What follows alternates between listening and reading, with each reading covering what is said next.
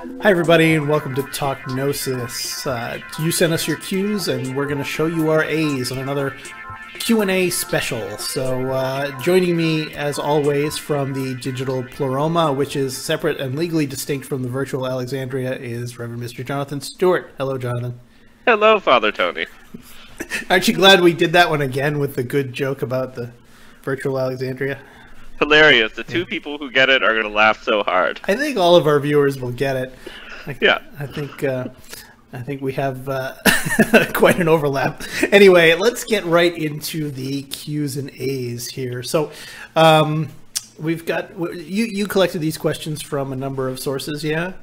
That's correct. Mostly from Reddit, but a few from our YouTube page. And looking at it now, I do realize that I messed up and that I didn't put people's screen names. But you know who you Yeah. are, and we thank you for submitting your questions. Thank you, anonymous contributors.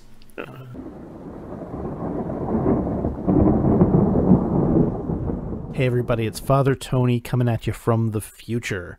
Uh, I am listening to this uh, now uh, while I'm editing it, and I have noticed that several points during the episode the audio just disappears. Uh, I did not know this was happening while it was recording, uh, and it's very sad. Um, however, it's not a lot. There's not a lot missing, and uh, the the information's still good. So uh, we're putting it out anyway, uh, gaps and all. Um, and uh, as an added little bonus in the gaps, I put in a cool little tune that you can groove out to while you're waiting for us to come back and nanner at you. Anyway, uh, I hope you like it, and I hope that you don't uh, find the missing information too distracting. But you know, if you have more questions, you can always submit them to us for our next Talk Gnosis Q and A special. Anywho, uh, that's enough for me. Back to the episode. I hope you like it. The Q and A special. Very nice. All right, so uh, Jonathan, what are your thoughts on how to actually transcend the demiurge? That's an excellent question, Father Tony. Thanks. I asked it myself. yes. Um, yeah, that seems to be one that that's pretty important for uh, for Gnosticism, uh, and I'm sure it's something that we're going to get into pretty deep, uh, especially with some of the further questions that we have um, uh, on the sheet this morning. But um, to break it down simply, sort of as above, so below. We've talked on the the show many times. You know, is the demiurge literal? Is the demiurge symbolic? Is it both? Uh, does it matter? um, so I think starting from a place of understanding the demiurge as being sort of the egoic mind, the grasping mind, the controlling mind. That's us. Just kind of working with that, and then working with working with your mind. Uh, I think is an excellent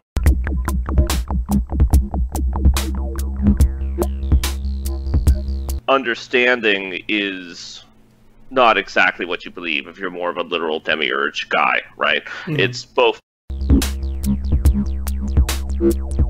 So basically, how to transcend the demiurge would be through meditation, through contemplation, through contemplative prayer, uh, and through doing good deeds, because all those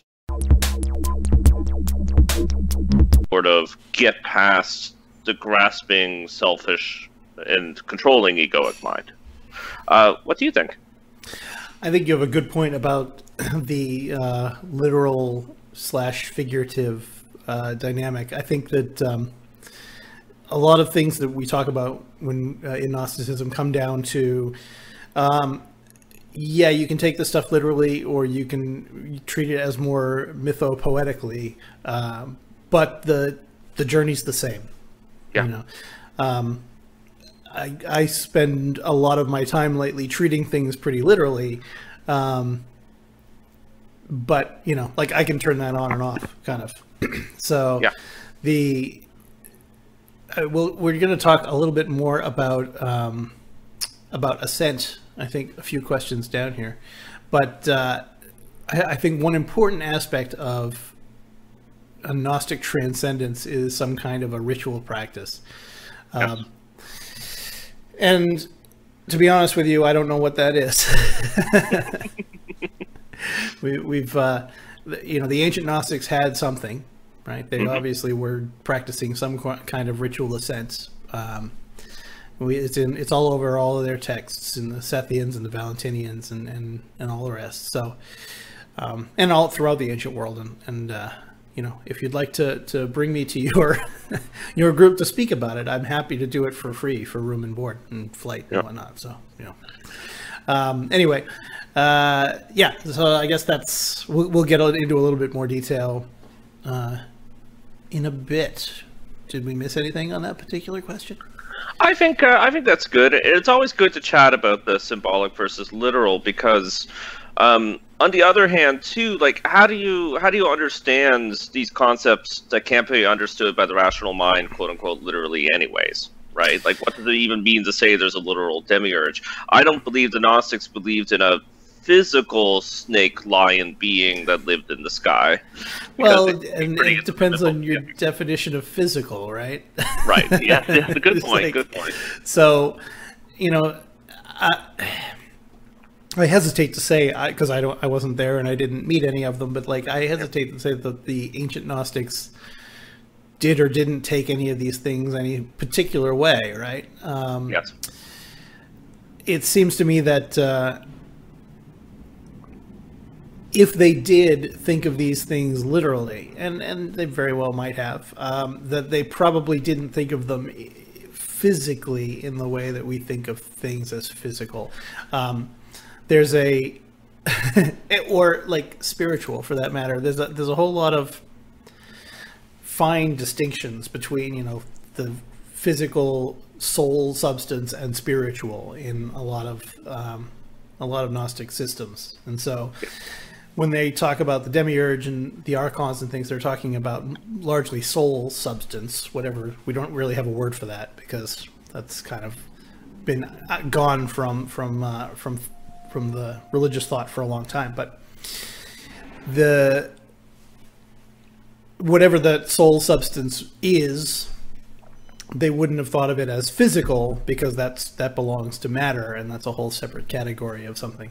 So you can still think of it literally and not think of it as a being exactly. It's very complicated stuff. it sure is. I'm glad Well- we spent six total minutes on it. That, Yes, yeah, that'll, I that'll think- solve it for everybody. I think that we solved that, so we can move on to the next question. Um, here, I'll read this one, Please. and, uh, Yeah. and you can answer it. Okay. Uh, once a Gnostic truly feels they've reached a point in their path of gnosis that they've broken free from the demiurge and can transcend, why wouldn't they kill themselves to end this life and escape this false reality? Actually, good point. So just do that. Okay, moving on. no, no. J- jokes aside, uh, what do you think about that question, Father? What's your answer? that comes up a lot, and uh, and we've never really tackled it here. I don't think um, the. Okay, so two things. So, Okay. what, one uh, one of uh, Monsignor Jordan Stratford's quotes that I love, and I don't know if it's original to him or if he cribbed it from somebody else, but uh, he was in talking about reincarnation. Um, he says, "I don't know if reincarnation is real or not, but I'm not waiting around to find out." Right? Yes. Like so, you do the work while you're here, and um, you know, and that's that. The how that's relevant is like it if you think that you've transcended the demiurge like are you sure you've done enough work and is that a are you just are you so certain that you're going to that you're ready to leave this physical plane and is that even how it works um Yeah. yeah, it, it's it's a it's a tricky one. Like you don't obviously, you know, we're not going to tell anybody to commit suicide. Um, I don't think. I mean, I can't envision a situation where we do that. Um, but yeah, it's my instinct is that once you've gotten to a point like that, um, it's part of that process then is to help the people who haven't. Yes. Um, and so, in order to do that, you probably need it'd probably be helpful to not be dead. Yes, you're here helping. I, I think that's I think that's exactly the answer, um, and that that's what I would say too. The other thing as well, and um, I mean this, this is the Gnostic show of the two world-hating duelists, right? Yes, exactly. But I I I swing, I swing. I uh, uh, I experiment with other cosmologies. um, and and for for those of us, which is quite a few, you keep some um, Valentinianism in your sock drawer. precisely, precisely. So, so like any of us who have had sort of mystical experiences, right? We've uh, oftentimes as Gnostics, we talk about sort of negative mystical experiences where you've woken up at 3 a.m. terrified because you realize that, that there's something wrong with the world, yeah. right? That's mm-hmm. often the first step in the path of gnosis. But we, we many of us, um, and probably many listeners and watchers, have had mystical experiences where they feel that everything is all right and God is present and alive in the universe and everything around you, yeah. right? Mm-hmm. And sort of in that that Gnostic sense, the pleroma is in is here and God is here, maybe trapped in matter, but divine is here, yes. right? Right. some magical sense. So I, am assuming when you've reached a certain point of gnosis, you have one foot in the pleroma. Mm-hmm. Like you don't need to kill yourself because you've transcended the demiurge, even if you're here on Earth. Like you exactly right. Heaven, you brought heaven to Earth. Like you why, see the kingdom like, of heaven manifest where it has always been, spread over the whole of the earth. Precisely. Yep. Yes. Mm-hmm.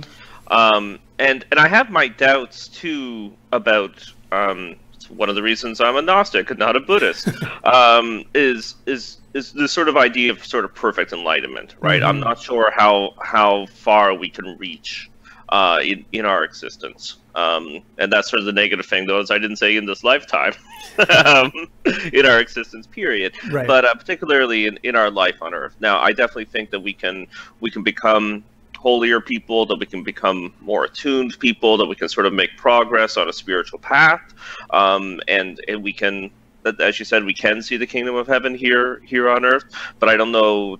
I don't know how far this this path for perfection can can possibly go, but hopefully, hopefully we'll find out. Yes, yes, indeed. Coming soon to a dark cave near you. Yes. Jonathan, what strategies do you use to keep your mind at peace? Um, as you can probably guess from my answers to the to the first question, uh, uh, meditation. Mm-hmm. So um, you know, sort of simple uh, breath meditation or the body scan. Um, also, um, uh, centering prayer, which is you know a form of Christian contemplative practice that uh, that you've discussed here on the network, um, and it's also in your book.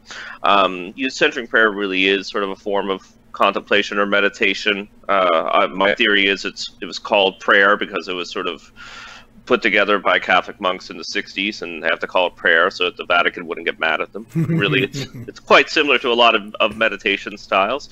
So so yeah, those two things, and and of course more. I, I don't even want to say conventional because you know I feel prayer is quite strong and holy, right? But you sort of dialogue prayer, you know. yeah. yeah. Um. So baby so Jesus, prayer, please give me a sports car, kind of thing. Precisely. Yes. So so um uh, the prayer, uh, I'll call it centering practice, uh, meditation, and then um, uh, yeah. So those are the big three for me. How, how about you? I I have boring answers. I mean, despite the fact that I did, as you mentioned, write a whole book about it. Sanctuary of the Sacred Flame, a guide to Johannite spiritual practice, available now on Amazon.com. Um, the, uh, the the the practices I end up doing daily are more um, I guess you'd say secular. I mean, I do a couple of things. Like one of my favorite and one of my longest practices is the, the I, I called it the roadside cross practice. I, I wrote a blog post about it um, some years back, where you know how you see those memorials on the side of the road where somebody died. of course. So I just whenever I see one of those, I do a quick Jesus prayer, and what that does is that kind of refocuses me and says, "Hey, you know, you might be driving down the highway and you might be stuck in traffic, you might be whatever." Um, but remember that this is more important, you know? Yeah. So I do that. Um, and then a lot of what I end up doing are just little awareness practices throughout the day. Um, yeah. I find when I look at my watch or look at my phone to see what time it is, I find that most of the time I do that, it's pointless, right? Because I'm because knowing the time isn't going to change anything about the way that I live my life for yes. the most part, right? And so um, whenever I catch myself doing that and I say, "Oh, I've just done something that's not that's pointless," right? Like I've I've just checked my watch and I have no need to, at this particular moment to know what time it is. Um, then I that triggers a little thing in my brain that I've kind of just practiced into the, you know, like okay, I've done a useless thing. Now I have to focus on something important for you know like a couple of minutes, and that's usually some form of prayer or something. Um, Oh, that's cool. Yeah. yeah, yeah, I get a lot of little things like that. Like for a long time, when I was walking through a doorway, I was you know doing that little kind of check-in thing. I was going to mention that one. That's a Gurdjieff thing, isn't it? Yeah, I don't know. I don't know if it is or not. I've seen it in relation to um, training yourself for lucid dreaming. Oh, okay. Yeah, I've seen it in a couple of different places uh, for that purpose. I think Lon Milo DuQuette uh, mentions it in one of his books and and, uh, and something else. So, um, for those of you who are interested in doing that, and I've never really had any success with it, but uh, I, I do know people who have. That whenever you're walking through a doorway, you, you can either just do it mentally or actually physically touch the door jamb, the frame, and uh, and you you ask yourself, "Am I dreaming?" Right? Yeah. And if you do that enough times when you're awake so that it becomes a habit, um, if you go through a doorway when you're asleep in a dream and you do that out out of habit, then you can say, oh, yes, actually, I am dreaming. So now I can start controlling the dream and, and have a lucid dream. Um, Right. Yeah, I don't I don't use it for that. I use it for like that same kind of mental check-in. Yeah. And um, you know, varying varying degrees of success as with most things you know and i certainly can't claim to be a super chill person 100% of the time but you know that's what that's why it's called practice and not success i guess Yeah, same here. Oh, two more things uh, I forgot about. Well, sort of touched on, but the uh, uh, the Johannite Daily Office is, is out now. So, Right. um, and I, I really like doing the Daily Office, though I've struggled with it now since I was in college, just to uh, to to have the practice of doing it at, at least three times a day. So Mhm. I'm hoping, and I was actually doing some beta testing for the Johannite Daily Office, which I which I was doing, and then I fell out of the habit yet again. Yeah. So I have my copies. I'm hoping to, to pick it back up. Um, you know, I'm fortunate in that you know I do have to do. So it's not like I have to like you know get up in the middle of the office and find a quiet uh, uh, place to pray. So right um, so, so, so wish me luck, folks. Um, and sort of similar to the to the doorway exercise, there's a simple one which is which brings some peace of mind that is, is, good practice, uh, which is just uh, right now, what am I aware of? Mhm. So sometimes I'll say that to to myself, you know, when I'm riding on the bus or if I'm in a stressful situation, and it, it's just a way to sort of check in with the self, you know, and uh, sometimes have some distance too, because uh, you know that simple phrase can allow you to sort of take a step back from your thoughts and just view sinking, right? Yeah. So you usually start with exterior phenomenon. You ask yourself the question a few more times, and then you, you know, right now I am aware of being worried. You kind of bring it internal, and you can do it relatively quickly, and you know, obviously out in public. So, so that's a good in too, and sort of similar to the doorway one. Yeah, yeah. Yeah. Um, I have I, I have gone so far with the uh, the the divine office to take the book out and put it on my bedside table. So Yeah. that's step one. Um, Yeah. I think it's an important step, and I think I've spent a lot of mental and emotional energy doing that. Uh, and maybe someday I'll open it. I think that I, you know, I have goals Yeah. it's important to have goals. Um, I should mention that um, if you are interested in that, not you, Joe, Mm, uh, pretty much all of the uh, Johannite parishes uh, have a whole bunch of copies. So um, if you live near one, then it's time to stop in and say hello, and uh, and maybe if they like you, they'll give you one. Uh, or there's a PDF version floating around somewhere that uh, maybe someone can get. I don't know. I, I I- I'm very helpful, you know. Yes, but if it's something you're interested in, ask, and somebody will help you with it. Yeah, exactly. Uh, Facebook is a good place to ask the the Johannite Facebook group. Yeah, yeah. Yeah. Um, I better ask this next question to Yeah, please. you. Uh, Father Tony, is ascension a mental process or a physical process? hmm Yeah, absolutely. There we go. to uh, to to elaborate, I suppose, um, the the concept of ascension is complicated. Uh, obviously, um, the as I mentioned earlier, the the ancient Gnostics were almost certainly practicing some form of ascent, or you know, ritual ascent practice. The idea being that as a Gnostic, you your entire goal is to transcend the limitations of the physical and the soul substance and become a fully realized spiritual being, right?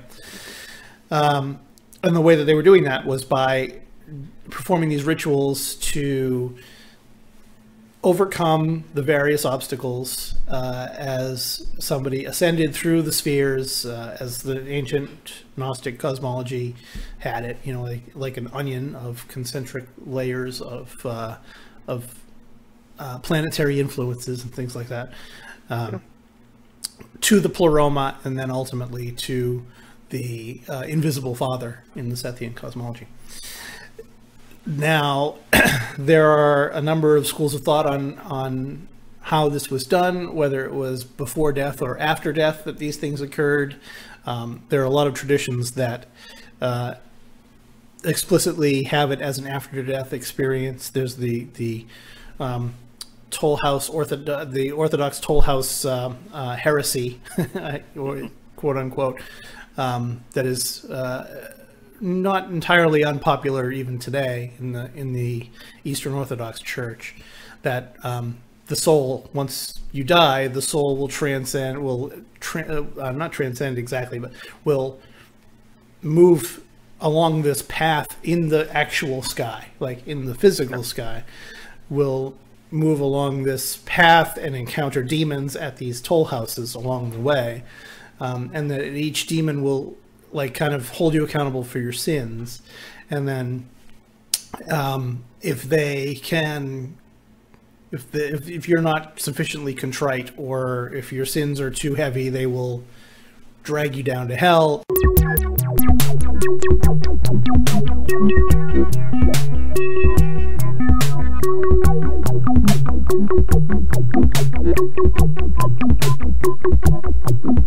Travel through the underworld and would meet with a bunch of obstacles where you would be asked about your various sins and then at the end your heart would be weighed against the feather of Ma'at and if you're if you uh, had any unrepentant sins your your heart would be heavier and it would be eaten by a pig crocodile hippopotamus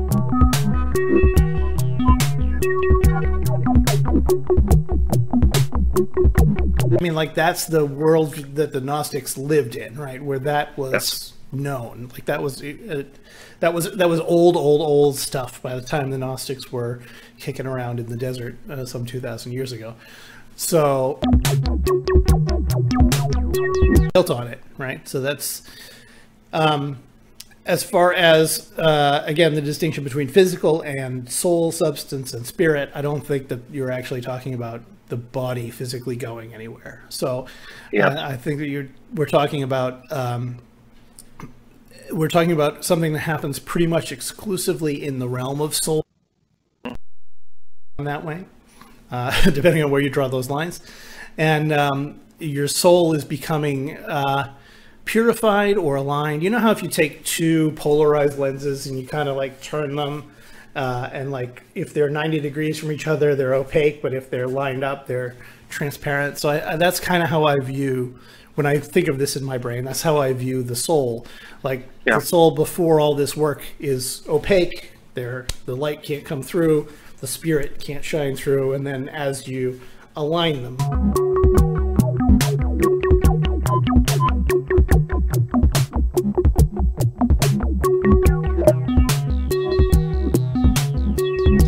Um, you know, in unity with the divine, and you get to kind of experience that, as we were talking about earlier.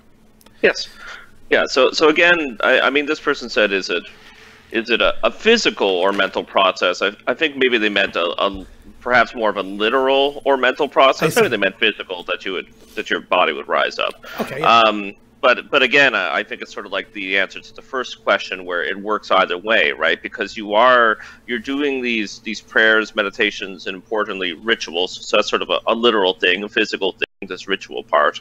But um, like what is what is actually happening? Is it is it symbolic? Are you doing internal work? Are these forces that are inside of you? And I would argue it, it works either way, right? Because the Gnostics would have said that that these negative archonic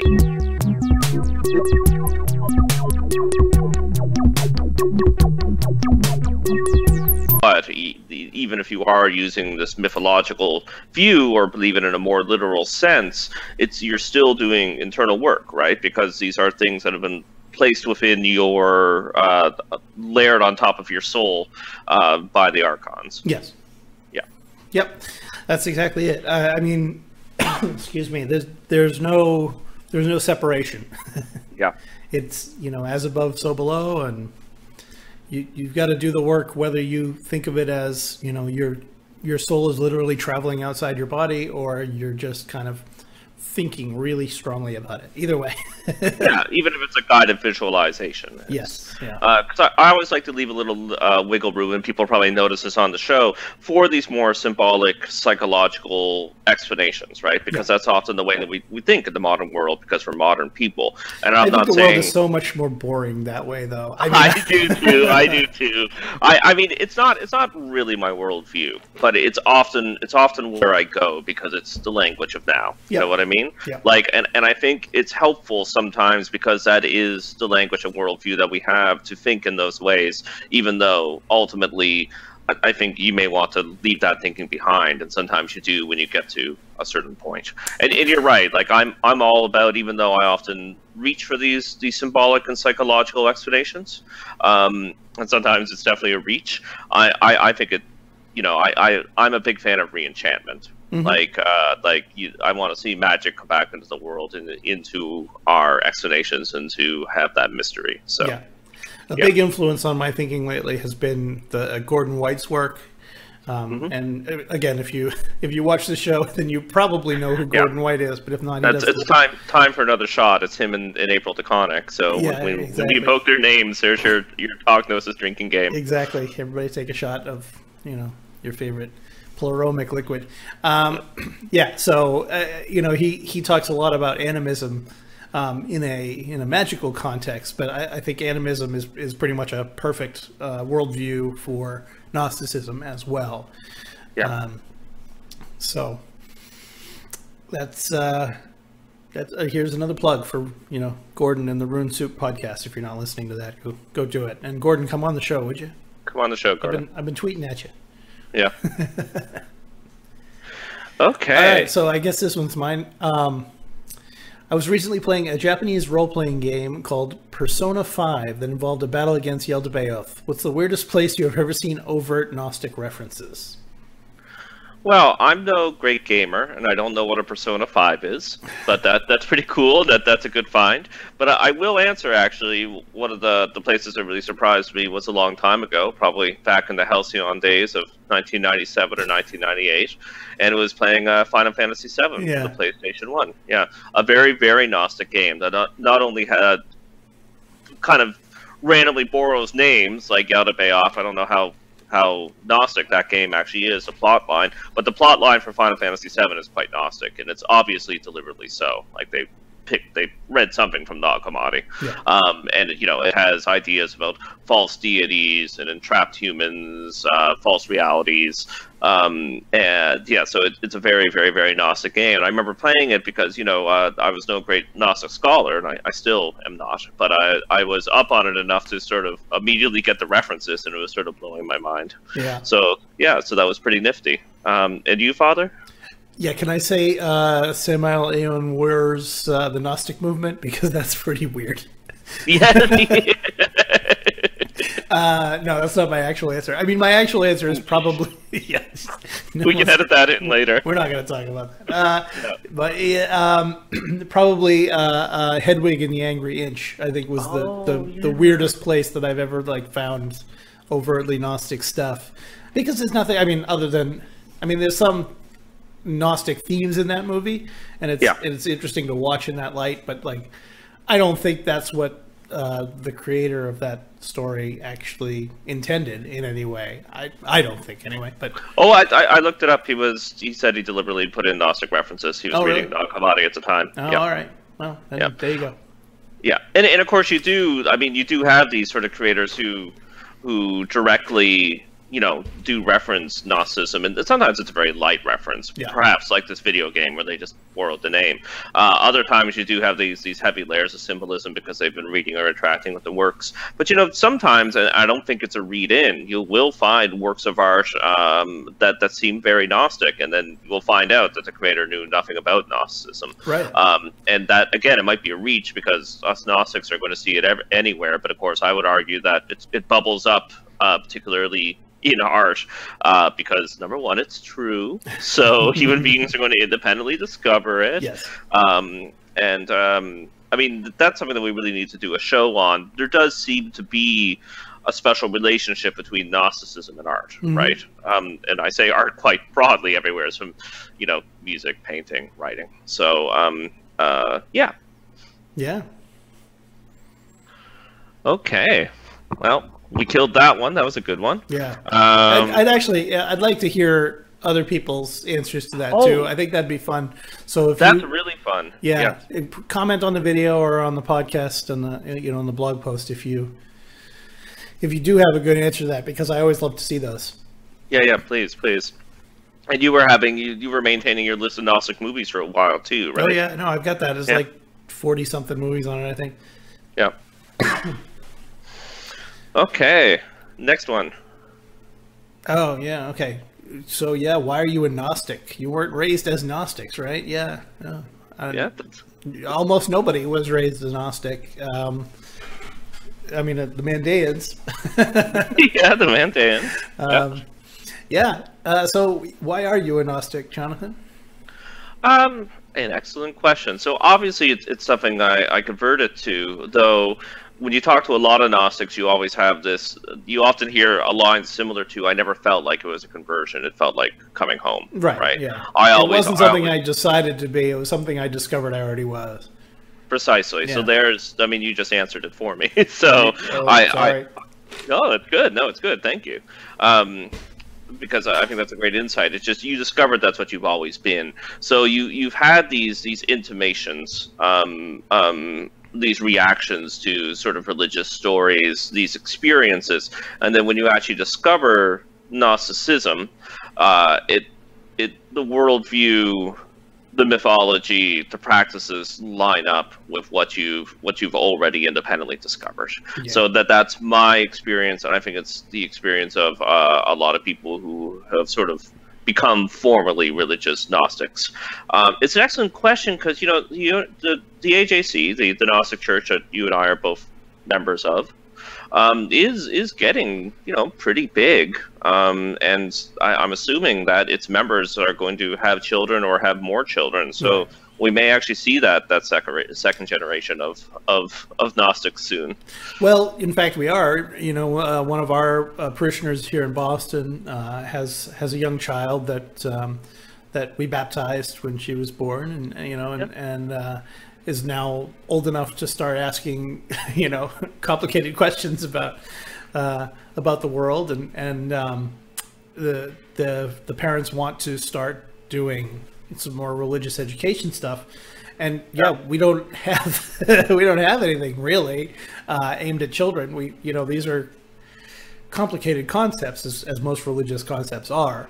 Um, yeah, and so um, you know there's, there's, a lot of discussion happening around that right now. You know, um, how much do you? I don't want to say dumb it down, but like how much do you simplify Gnostic ideas uh, in order for them to be understandable to children or like how long when you start talking about these things it's it's a complicated problem that uh, yes. it's a good problem to, to have but it's a it's a new one for you know a relatively young church uh, you, you know something that you have to you know, we're our church in this incarnation isn't even 20 years old. So, you know, yeah.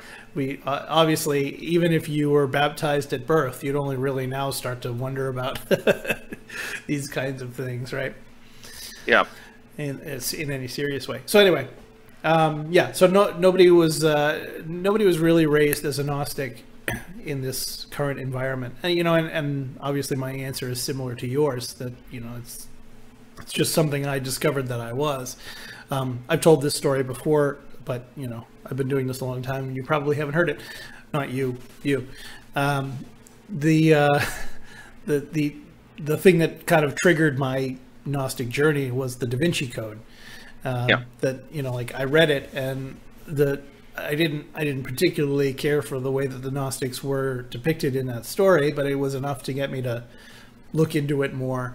Um, I still will argue that the Da Vinci Code is a great book, even though all of the all of the nonsense that it spawned. yeah, the movie wasn't Well- great though. Yeah, I mean, there's some blessings there in that it brought, you know, I mean, it brought you to Gnosticism, probably other people too. Uh, even if there, it was a, a bunch of, of nonsense uh, about the ancient Gnostics, it may have spurred some interest. Yeah. Yeah. Um, yeah, very cool. Yeah, the uh, raising people as Gnostics. I mean, so our present incarnation of, of the church is only 20 years old, but of course it has older French roots, right? Yeah. The beginning of the 1800s, and then the later Doinel churches. Those ran for a few generations. Like, I wonder, I wonder what they did about children, or did they just seek to converse or or be open to? Because I guess they didn't weren't really searching for converts to adults. Um, Yeah, they they had different focuses too. Um, yeah. the I mean the Doinel Church. I mean we have we, we do participate in the Doinel lineage, but we're not really a church in the Doinel style, right? Yeah. For more on that, you can search for the Gnostic Restoration on the channel here. We've got a lot of stuff on it. Also, the Johannite Church's um, YouTube channel has a has a good video on it as well. yeah. Um, but the the Gnostic Church of Doinel's era was a church of initiates, right? It was it was intended Right. to be um, like a, a almost a magical lodge with churchy stuff in it. Um, so that's not really a thing that children do. So I don't I Right. don't know if they were you know were doing anything uh, for children. And as far as uh, Fabré-Palaprat's church in the early 1800s, um, you know, it was it was Templar. So I, I don't think that they were having any children carrying swords and walking up and down. Although, actually, there isn't. Now that I mention that, um, there's an account somewhere. There's a story of uh, of a woman who, as a young girl, was baptized into Fabré-Palaprat's church. There's like a little um, a little novella or an essay or something. I I have it somewhere because I'm a digital hoarder and I collect everything. But yeah, Yeah. so anyway, that'd be interesting to look at. Um, Yeah, yeah. Dig it out and send it to me. Um, and I'll then I mean, totally we can always remember to do that. yes, or we can put a link up because I'm sure it's in the public domain, so Yeah. it's online somewhere, so if other people are interested. Yeah, I also think too the sort of Valentinian model. Like, I don't know if I had kids and I want to raise them as Gnostics, I think I'd send them to like Sunday school in an Anglican church because then they have sort of because we're sort of liturgical Gnostics, and they get sort of the liturgical stuff, and then they get sort of the basic Bible training, and then as they get older, you can kind of be like, well, it, it, it- here's you know, you got some some good shit, but here's the good good shit.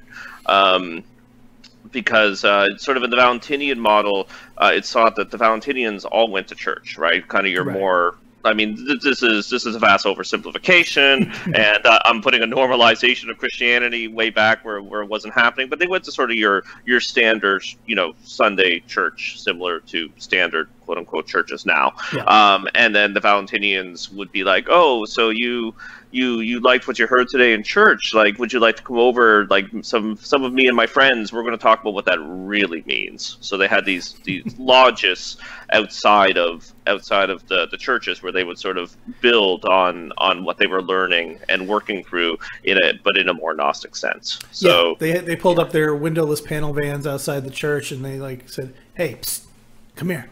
You you want some more?" Yeah, the more hey, Get hey, want a little taste of gnosis? Little taste of gnosis. First, first taste is free. So, so maybe something like that for for childhood education. yeah, but, let's uh, just do that. Let's get let's get a bunch of vans. Okay, get a bunch of vans. Go park them outside Sunday schools. Yeah. So this is this is called a part of the show that we edit out. So we No, don't this is gold. This is staying. all gold. Yeah. Uh, okay, moving on. I have a question for you. Yeah. Um, and it's, it's probably a question you have never heard before in your entire uh, career as a Today. Gnostic priest. Yes.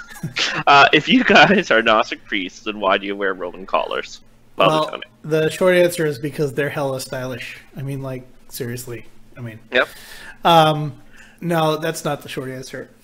um, so yeah, so like as a as Johannites, um,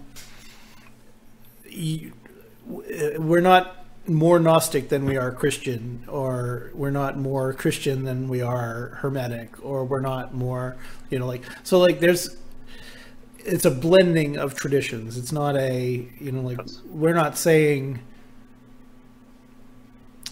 there's a you can certainly be a gnostic and uh, be a gnostic uh, uh, spiritual leader and not be a roman catholic style priest that's uh, you know that's absolutely possible um, this is how we do it Yeah. and so you know we we participate in a, the broader christian tradition and that's why we use those symbols and the sacraments of the the of the one holy Catholic and Apostolic Church and and, and that kind of thing.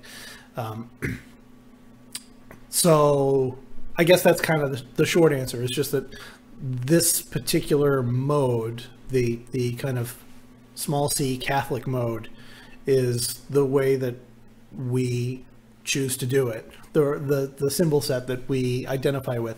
For me, it was a pretty easy transition because I grew up Roman Catholic, and a lot of people in our church grew up Roman Catholic, although it's not a requirement. Um, But it makes a certain amount of sense um, to just have you know like it's it's easier it's easy to recognize like this is what we're doing um, Yeah. even though we have a different a different approach to it you know um, we we talk about in in our church that you know in in the in the regular I would say the mainline Catholic traditions the small c Catholic traditions um, the the priest acts as a mediator between the laity and God. And in the Gnostic traditions, in the Johannite Church specifically, um, the Gnostic priest serves as a facilitator, right? Yeah. Nobody's saying that in in our church or in any church that the priest is required for you to achieve gnosis and theosis and, and to ascend to the throne of the divine. Um, the the function of the priesthood is to um, facilitate that, to help people on that path, um, not to not to be the gatekeeper, as it were. Yeah. Yeah, and and to clarify too, um, uh, or, or if you agree, agree, it's also a uh, like like one reason why the AJC and, and some other Gnostic churches have sort of adopted this Catholic mode um, outside of the Catholic Church is because they they, they believe it to have power, right? Yeah, they believe sure. to be practical and to like the sacraments like can help you on the path of gnosis. Uh, having having a built-in church structure makes organization easier. Um, I've also said too, like just what you were saying, like we're we're not strict Gnostics. It's like something like the AJC is is a a Gnostic, a Templar, a Hermetic, and an esoteric church, right? Yeah. Um, uh, drawing on everything from mystical Catholicism to the ancient Gnostics, and even though and, and these are things that are different and come from different time periods, and sometimes have clashing cosmologies, Yeah. but at the same time, more or less work pretty well together. So we're not just creating something out of whole cloth that's completely wacky and contradictory. Uh, like there is there is similarities between the ancient Gnostics and um, the great mystics of the Catholic Church. Yep. Um, uh, and also, I, I also, you know, again, not throwing the, the baby out with the bathwater. We don't become Neo-Sethians or Neo-Valentinians because why would we throw out the last 1800 years of some of the good parts of Christianity? Right. right? Right. And uh, yeah, like like there's there's lots of great and beautiful things in the last two thousand years of Christianity. There's definitely some terrible things, Yeah. but hopefully we can leave some of that behind and and take the good. Um, and I know the AJC, like we do have holy days for more modern saints, right? Uh, that that that are in the Catholic Church as well. So by modern, I mean you know just 800 years ago. But Right. Hilde, Hildegard of Bingen. Um, do we have Saint Teresa on the church calendar? Uh, um, yeah, and she's she's only like what 1700s or 1600s. So, um, so yeah, we're not throwing the baby out with the bathwater. yeah, exactly. All right. No Yeah. institution is perfect. Yeah. So- yes. yeah. you know, you, every every, uh, Uh, you know institutions are made of people and people sometimes suck so that's, Yep. that's something that you have to deal with and in an organization that's as old as or a movement i guess you'd say that's as old as christianity you know you're going to have a lot of good and bad so Yeah. we, we try to we try to take what's good and ignore what's bad as best we can Yep. Amen. Mm-hmm. Okay, one last question. and hella stylish collars are one of the good parts so yeah. yeah. uh, do you want to ask the last question? no go ahead i think this is the best one Oh yeah, this is a good one. uh, I mean, they're all good ones, and thank you for submitting your questions and Yeah. keep them coming. Um, I still am unclear on how a Gnostic views the world. Can a canyon or a sunset or an ancient tree just be beautiful without any thoughts of the world being a veil pulled over our eyes? nope Okay. No, no. Well, that was easy. Yeah, no, that's not true. Um, yeah, so I mean, obviously, that I mean, the, the the simple answer is sure. Why not? Right? Like nobody's saying that. Uh, you know, as that as a Gnostic, you have to just like hide in your room and pull down the shades and never talk to anybody, never have any fun, and and never do any of that. Like the the world is the the world has beauty in it. Um, Yes. And a lot of that beauty is natural, and a lot of it is is created by humans. Um, and there's nothing wrong with appreciating beauty for what it is. Uh, Yeah. The, uh, the the the the problem happens when you fixate on it. I think Yes. um, that you know like yeah natural beauty let's say uh, you know absolute hardcore dualist sethian you know like the a beautiful sunset was created by the demiurge in order to keep us numb to the spiritual reality of you know of gnosis and theosis and all of that. Um, then great enjoy the sunset but then remember that you have other work to do also. You know what i mean? Um, there's um, you know like uh, the there's a, a phrase from the gospel of thomas you know whoever does not hate his fa- mother and his father cannot enter the kingdom right? So a lot of people take that as like oh like we really have to just cut off from the world and and you know or and have nothing to do with it. And that's not what they're saying. They're saying that the the important things are spiritual and the the rest of it is at at best a distraction. Um, but Yeah. at the same time nobody's achieving gnosis if they're starving to death. So it's it's a balance like everything else. So you know enjoy the sunset enjoy a good meal you know enjoy a nice rare steak um, but then you know get back to work. Yeah, yeah, I, I completely agree too. So I I think you can definitely uh, take pleasure in in worldly things, but it is it is having that that not being caught up, right? Yep. Not being caught up in cycles of grasping, not being caught up in cycles of delusion, not being caught up in cycles of addiction. Um, and and kind of going back to the to the first question too, you know, I, I'd also answer with that that sort of when you have that sort of mystical view of the world, right, where you can kind of take pleasure in the world in this sort of spiritual sense, which which is something that a lot of Christians of, of all denominations would have, sort of watching a sunrise or a sunset, right? they even easier Um, time of it because they get to say oh look at how great the creator is you know Yeah. we we do have a we do have a little added barrier there That's very true. That's very true. Yeah, um, but but I think just having an understanding of that of the that Pleromic reality that sort of lies behind the physical things allows one to appreciate the physical things. Um, that's you know perhaps that's that's the less world-hating dualist side of me, the less Sethian side. Um, or even that sort of Manichaean understanding of uh, I'm really turning the audience on with my my nomenclature today, but the uh, you know that idea of God being stuck in everything, you know, Mhm. not just humans, right? There, there's a spark in everything. There's a crack in everything, letting the light in. So that sort of almost pantheist or panentheist understanding of this all participates in the divine reality, I think, can definitely bring some beauty, beauty to the world for uh, for us Gnostics. Yeah, I, I've I've said it a number of times, and I'll repeat again a million times, like that. You know, it's world-hating dualism is an absolute, absolutely essential part of Gnosticism until it isn't. Yes, yes. You know, so like there's and you know that and then I'll inevitably go on to, to talk about the, the, the pearl, right? And an oyster yep. doesn't create a pearl until it feels an irritant, right? There's a piece of sand in there that it doesn't like, so it creates this beautiful pearl around it in order to, um, you know, in order to kind of alleviate its its pain. Um, and and that's that's gnosis, right? Like the the realization that there is something wrong that that you know yes. like this is this world is not perfect and it's probably not created by an all benevolent perfect creator because children get leukemia and yep. so um, you know that irritant is what causes the quest to begin and that in through creating that pearl you achieve gnosis and so on and so forth. But it wouldn't exist without the crappy world. Like if there was nothing to rebel against, then there would be no need for it.